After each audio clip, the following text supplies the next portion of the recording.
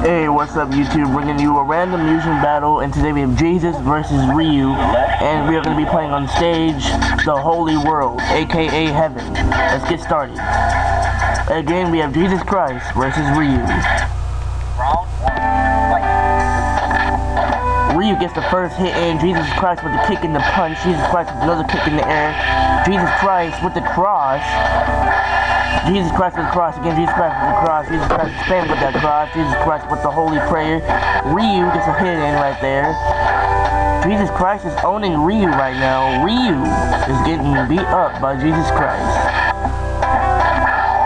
Jesus Christ sends in a stampede of animals that he created. Ryu is making a comeback, and Ryu has ha Ryu has defeated Jesus Christ. Unbelievable. Ryu has just defeated Jesus Christ. Lord, forgive me for doing this battle. Ooh, Jesus Christ with a three-hit combo. Ooh, I was kind of late there, but Jesus Christ with the kick in the air. Jesus Christ tries to pull out his cross again, but misses.